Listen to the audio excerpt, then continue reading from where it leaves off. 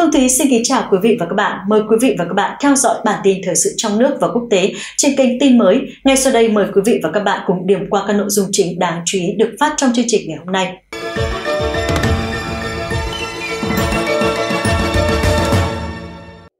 Nghệ An, 1.734 nhà dân bị ngập, 322 hồ đập đầy nước do mưa lũ, mưa liên tục kéo dài, mực nước sông, suối dâng cao khiến nhiều địa phương của tỉnh Nghệ An bị ngập lụt. Toàn tỉnh, số nhà dân bị ngập là 1.734 nhà, trong đó riêng huyện Quỳ Châu có 1.214 nhà. Hiện, nước đã rút, các hộ dân quay về nhà an toàn.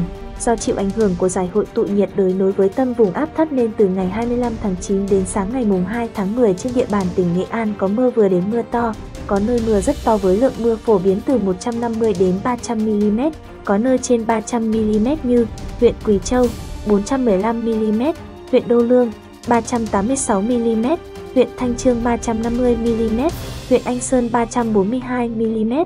Tỉnh Nghệ An có 1061 hồ đập lớn nhỏ. Tính đến sáng ngày 28 tháng 9 có 322 hồ, đập đầy nước, 242 hồ, đập có dung tích trên 70% dung tích thiết kế, 8 hồ chứa thủy điện đang thực hiện vận hành theo quy trình vận hành liên hồ chứa trên lưu vực sông Cả. Trong ảnh mưa lớn đã khiến đồi, núi sạt lở khiến đất, đá tràn vào nhà dân. Trước tình hình mưa, lũ trên địa bàn, Ban chấp hành tỉnh đoàn Nghệ An đã có công văn hỏa tốc về việc kích hoạt các đội hình thanh niên xung kích sẵn sàng phối hợp lực lượng chức năng tham gia ứng phó, khắc phục hậu quả, cụ thể, cắm biển cảnh báo, hướng dẫn giao thông tại các địa điểm giao thông bị ngập lụt, hỗ trợ người dân di rời người và tài sản ra khỏi các khu vực nguy hiểm, huy động lực lượng thanh niên tham gia vệ sinh môi trường, khắc phục hậu quả sau khi nước lũ rút, lũ dâng cao gây ngập lụt khắp nơi, thủy điện thông báo xả lũ, mưa lớn, nước lên nhanh, nhiều xã, bản ở huyện miền núi Quỳ Châu, Nghệ An ngập trong biển nước, người dân trắng đêm chạy lũ, đêm ngày 26 tháng 9, nước ở thượng nguồn đổ về lớn, nước sông Hiếu dâng cao làm ngập lụt nhiều xã, bản trên địa bàn huyện Quỳ Châu, Nghệ An. Ngay trong đêm, các chiến sĩ công an huyện Quỳ Châu cùng các lực lượng chức năng đã hỗ trợ bà con di rời tài sản đến nơi an toàn. Đoạn quốc lộ 48 đi qua địa bàn xã Châu Hội bị ngập khiến xe cộ không thể lưu thông. Mực nước tại cầu treo Châu Hội đã mấp mé mép cầu, người dân không dám đi qua. Nhiều ruộng lúa, ao cá của người dân Châu Hội bị nước ngập, thiệt hại gần như hoàn toàn. Tại bản Lâm Hội, xã Châu Hội, nước lên nhanh khiến nhiều tuyến đường và trường mầm non bị ngập cục bộ. Cán bộ xã, bản và người dân trắng đêm kiểm tra, nhắc nhở và hỗ trợ các trường hợp bị ảnh hưởng. Đặc biệt, một người dân từ xã Châu Bình đi qua địa bàn xã Châu Hội bị nước chảy xiết xuống cuốn trôi, may mắn được người dân hỗ trợ cứu kịp thời. Tại xã Châu Thắng, ngoài ngập đoạn QL48 phía chân dốc Bù Bài, còn sạt lở núi tại điểm tiếp giáp với xã Châu Tiến, ngập cầu Châu Thắng và dân cư hai bên cầu. Tại xã Châu Tiến, ngập các ruộng lúa, khu dân cư bản Minh Tiến dọc bờ sông, ngập khu dân cư bản Khoang, bản Đồng Phầu, bản Bình Ba, bản Kẻ Cang, xã Châu Bình. Đến sáng nay, ngày 27 tháng 9, một số tuyến đường vẫn ngập, xã Châu Hạnh ngập khu dân cư bản Tà Lành, sạt lở đoạn đường tại dốc Kẻ Lè, ngập một đoạn quốc lộ của L48 giáp thị trấn Tân Lạc, còn địa bàn thị trấn Tân Lạc, huyện Quỳ Châu, ngập khu dân cư khối 4, khối 2, khối Tân Hương từ 8 giờ ngày 27 tháng 9 để đảm bảo công tác vận hành xả nước hồ chứa thủy điện Nậm Mô được an toàn. Công ty cổ phần Tổng công ty phát triển năng lượng Nghệ An dự kiến tăng lưu lượng xả nước hồ chứa thủy điện Nậm Mô. Tổng lưu lượng xả dự kiến khoảng 140 đến 350 mét khối trên giây, bao gồm xả qua các cửa van đập tràn và tổ máy phát điện. Thời gian dự kiến kết thúc xả nước qua đập tràn cho đến khi lưu lượng nước về hồ giảm về dưới mức 140 mét khối. Trước đó, nhiều nhà máy thủy điện Khe Bố, Châu Thắng, Nhàn Hạc, Bản An cũng có thông báo vận hành điều tiết hồ chứa trong ngày 1 và mùng 2 tháng 9. Mưa lớn gây ngập lụt, sạt lở nhiều nơi ở Quảng Bình do ảnh hưởng của áp thấp nhiệt đới.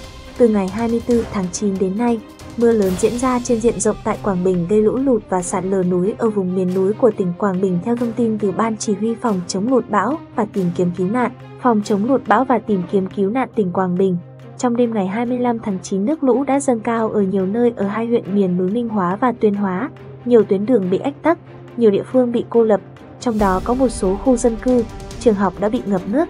Cũng trong đêm, QL12A đoạn qua bản Y Lang, xã Dân Hóa đã bị sạt lở núi, khoảng 50 mét khối đất đá đổ sập xuống mặt đường khiến giao thông bị ách tắc. Trong ảnh đêm ngày 25 tháng 9 đã có một số trường học và khu dân cư ở huyện Minh Hóa bị ngập lụt. Tại xã Trường Sơn, huyện Quảng Ninh có nhiều bản làng đã bị nước lũ chia cắt hoàn toàn. trên tuyến đường Hồ Chí Minh nhánh Tây đoạn qua xã này cũng bị sạt lở, nhiều khối đá lớn từ trên cao rơi xuống đường chắn hết lối đi của xe ô tô. Sở Giao thông Vận tải Quảng Bình cho biết, nhờ chuẩn bị các phương án ứng phó với lũ lụt từ trước, nên các điểm sạt lở đã được khắc phục, các tuyến giao thông bị ngập lụt có biển báo và có người hướng dẫn giao thông, nhằm tránh các tai nạn đáng tiếc xảy ra. Trong mảnh sạt lở núi trên QL12A và nhánh Tây đường Hồ Chí Minh, hết mưa, dòng đất đá vẫn tuôn chảy như lũ ống ở miền núi mặc dù trời đã nắng, nhưng vẫn xuất hiện dòng đất, đá chảy như lũ ống ở miền núi phía tây tỉnh Nghệ An ngày mùng 1 tháng 10. Trên mạng xã hội xuất hiện đoạn video clip ghi lại hiện tượng hiếm thấy trời quang mây tạnh không mưa nhưng đất đá cứ trôi xuống như dòng lũ. Có người đặt câu hỏi, đây là hiện tượng gì và nguyên nhân do đâu? Tiếng trong video, người dân hô động đất động đá đây, động đất đây, xuống đây chưa? Con rồi ơi, thôi dừng đó em ơi, đất đá cứ tuôn xuống. Người dân chỉ biết tránh ra và hô ôi, ôi được biết, đoạn clip trên quay ở xã Bảo Thắng, huyện miền núi Kỳ Sơn, Nghệ An. Địa điểm xảy ra vụ việc cách trụ sở Ủy ban Nhân dân xã Bảo Thắng chưa đến 1 km. Đoạn clip trên do anh Mong Văn Tư, chú bản Cha Ca 1, xã Bảo Thắng, huyện Kỳ Sơn quay được vào khoảng 9 giờ sáng mùng 1 tháng 10. Theo anh Tư, thời điểm đó anh đang đi vào núi để tìm nguồn nước cho dân bản, bỗng nghe tiếng ầm ầm từ trên đỉnh núi. Thời điểm đó, thời tiết nắng nóng, anh Tư kịp bỏ chạy và hô mọi người tránh xa dòng suối. Anh Tư đã dùng điện thoại quay lại hiện tượng đất, đá đổ xuống. Lãnh đạo Ủy ban Nhân dân xã Bảo Thắng cho biết, từ ngày 26 tháng 9, trên địa bàn xã Bảo Thắng có xảy ra mưa lớn, gây sạt lở và thiệt hại tài sản của người dân và các con đường giao thông. Ban chỉ đạo phòng chống thiên tai và tìm kiếm cứu nạn xã Bảo Thắng đã đề nghị bà con nhân dân hết sức bình tĩnh, dùng phương án 4 tại chỗ để tránh thiệt hại về người và tài sản. Xã Bảo Thắng đã thông báo nghiêm cấm bà con nhân dân đi ra, đi vào khu vực sạt lở nguy hiểm, không đi vất củi ngoài khe suối. Đồng thời, tuyên truyền vận động nhân dân di rời và giả soát thống kê thiệt hại để kịp thời xử lý. Như đã đưa tin, vào cuối tháng 9 năm 2023, trên địa bàn các huyện miền núi Nghệ An, Hà Tĩnh, Quảng Bình có mưa lớn, gây lũ lụt, nhiều đại phương bị ngập sâu. Hiện thời tiết không còn mưa lụt, người dân cùng chính quyền địa phương đang khẩn trương khắc phục hậu quả mưa lũ, học sinh sớm trở lại lớp học. Lũ ống xuất hiện giữa trời nắng trang trang ở Kỳ Sơn trong sáng mùng 2 tháng 10. Một trận lũ ống đã xảy ra tại bản Cha Ca 1, xã Bảo Thắng, huyện Kỳ Sơn. Lũ ống đã cuốn trôi hàng nghìn mờ ba bùn đất từ đỉnh núi xuống khe suối.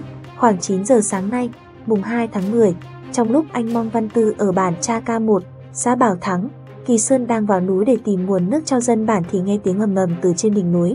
Lo sợ, anh Tư bỏ chạy thì phát hiện dòng bùn đất, đá đổ ầm ào như thác xuống con đường chính của xã Bảo Thắng. Biết là lũ ống xảy ra nên anh Tư vừa chạy, vừa hô hoán người dân tránh xa. Sự việc kéo dài khoảng 5 đến 7 phút, cuốn trôi một khối lượng hàng nghìn m3 bùn đất đá xuống khai suối. Rất may trận lũ ống không ảnh hưởng đến người và tài sản của dân. Những ngày qua, trên địa bàn xã Bảo Thắng cũng như huyện Kỳ Sơn có mưa to, gây sạt lở trên nhiều tuyến đường. Lũ cắt đôi mặt đường, người dân Quỳ Châu khẩn trương mở đường mới để đi tạm, đoạn đường khoảng hơn 20 mét bị nước lũ cuốn trôi, khiến nhiều hộ dân ở bản Minh Châu, xã Châu Hạnh, huyện Quỳ Châu bị cô lập. Người dân và các lực lượng nơi đây nhanh chóng triển khai mở đường mới để đi lại.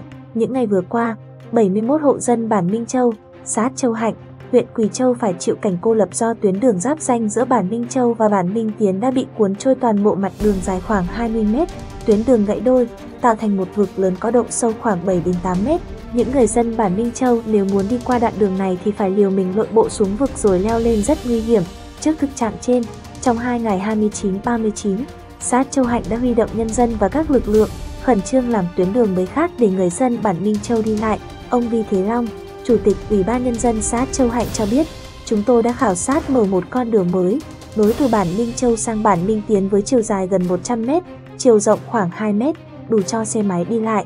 Tuyến đường này nằm ở vị trí khá cao, khe suối chia cắt nên máy móc không thể hỗ trợ mở đường được, chủ yếu phải dùng sức người để mở đường. Ngay sau khi phát động mở đường, đã có trên 100 người dân cùng các lực lượng dân quân, công an xã tham gia. Trước tiên phải dọn cây keo, bụi rậm, sau đó mới triển khai dùng cuốc, thuồng để đào đất, đá mở đường. Có mặt tại hiện trường thời điểm này, thấy không khí làm đường rất sôi nổi, người đào đào đất, người vác đá để ghép đường qua dòng suối hung chị Lang Thị Minh ở bản Minh Châu đang đào đất mở đường chia sẻ. Người dân ai cũng tích cực làm đường, mong mở mới sớm tuyến đường này để con em được đến trường, bà con đi lại thuận tiện. Về lâu dài các cấp ngành cần quan tâm, hỗ trợ để khắc phục lại điểm đứt đường để người dân sớm ổn định cuộc sống. Mặc dù xã huy động ít nhất một hộ gia đình một người tham gia mở đường, nhưng có những gia đình ở bản Minh Châu, Minh Tiến cả nhà tham gia làm đường mới. Vì thế, tiến độ làm đường đạt nhanh, chỉ tính 2 ngày qua, tuyến đường mở mới đã làm đạt trên 70% khối lượng. Hiện nay người dân và các lực lượng đang tập trung hoàn thiện như dùng tre, mét để làm kè chắn sạt lở, hoàn thiện ghép đá trên 10 mét qua suối Hung ở bản Minh Châu ông Vi Thế Long, Chủ tịch Ủy ban Nhân dân xã Châu Hạnh cho biết thêm, theo kế hoạch, đến ngày mùng 1 tháng 10 tuyến đường mở mới từ bản Minh Châu đi bản Minh Tiến sẽ hoàn thành đưa vào sử dụng. Người dân bản Minh Châu sẽ thoát cảnh bị cô lập, còn đối với tuyến đường và bản Minh Châu bị hư hỏng nặng nề, do kinh phí có hạn nên xã Châu Hạnh đã báo cáo lên Ủy ban Nhân dân huyện Quỳ Châu để xin phương án khắc phục, đang sửa đường.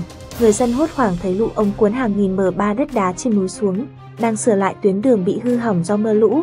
Người dân hốt hoảng phát hiện một cơn lũ ống cuốn theo hàng nghìn mờ ba đất đá chảy theo dòng khe xuống đường ở xã Bảo Thắng, Kỳ Sơn, Nghệ An. Chiều mùng 1 tháng 10, ông Mong Văn Lợi, Chủ tịch Ủy ban Nhân dân xã Bảo Thắng, huyện Kỳ Sơn, Nghệ An cho biết, sáng cùng ngày một cơn lũ ống bất ngờ xuất hiện cuốn theo hàng nghìn mờ ba đất đá chảy theo khe nước xuống con đường trung tâm xã. May mắn, trận lũ ống không làm ảnh hưởng về người và tài sản người dân. Theo đó, sáng mùng 1 tháng 10, một nhóm người dân và cán bộ đi sửa sang lại tuyến đường chính của xã bị hư hỏng sau đợt lũ vừa qua. Khoảng 9 giờ 30 phút, khi mọi người đang làm tại bản Cha Cao một thì hốt hoảng phát hiện một cơn lũ ống cuốn theo nhiều đất đá chảy từ dòng khe nhỏ xuống đường. May mắn, người dân phát hiện kịp thời nên đã chạy thoát ra được vị trí an toàn. Chủ tịch xã Bảo Thắng cho biết thêm, khoảng 4 ngày trước nơi đây cũng đã xảy ra lũ ống cuốn đất đá trôi theo dòng khe nhỏ xuống. Nguyên nhân do đất đá sạt lở ở đầu nguồn nên theo dòng nước cuốn trôi xuống dưới. Sáng nay dù trời nắng to nhưng lũ ống vẫn tiếp tục xuất hiện. Sau khi xuất hiện lũ ống, chính quyền xã đã cho người túc trực, theo dõi tại hiện trường để có biện pháp xử lý kịp thời, an toàn. Vị trí xảy ra lũ ống ở tuyến đường chính đi vào trung tâm xã, cách trụ sở ủy ban xã 800m, gần với điểm xảy ra lũ ống có nhà dân. Hiện tại qua kiểm tra đang an toàn, chúng tôi đang cho người túc trực và theo dõi, ông Mong Văn Lợi nói. Theo Chủ tịch xã Bảo Thắng, mưa lũ những ngày qua đã khiến xã này bị ảnh hưởng lớn. Một căn nhà bị sạt lở hư hỏng nên buộc phải tháo rỡ. Tuyến đường từ huyện vào trung tâm xã xảy ra 13 điểm sạt lở. Chính quyền xã đang khẩn trương sửa đường, khắc phục hậu quả mưa lũ, đang khẩn trương sửa đường, khắc phục hậu quả mưa lũ, đang khẩn trương